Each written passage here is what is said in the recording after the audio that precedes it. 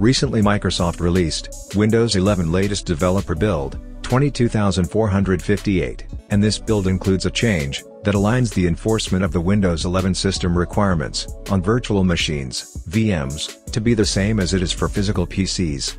Means now TPM 2.0 will be required for using Windows 11, even on VMs. Currently I'm running Windows 11 on VMware, and let me check if I can update to latest build, without enabling TPM.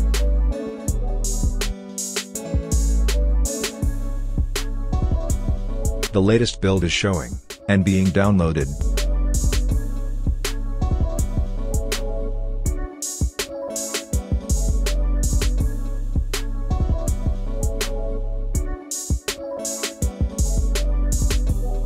and update process has been interrupted, and it says TPM 2.0 is required, now, close all and shut down VM.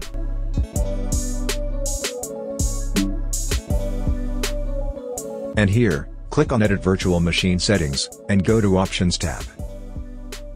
Click on Advanced, and make sure that firmware type has been set to UEFI, and Secure Boot is enabled too. Now, click on Access Control tab and then click on Encrypt and create password and confirm it, and then click on Encrypt.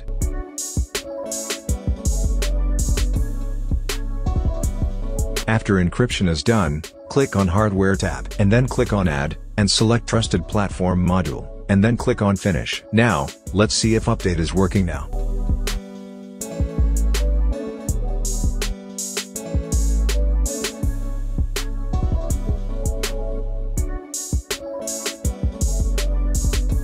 And now, you can see the update is ready. So, that was it, hope you guys enjoyed the video, if you have any question, just comment down below, thanks for watching, and don't forget to like, share, and subscribe, for more updates, stay connected and have a great day.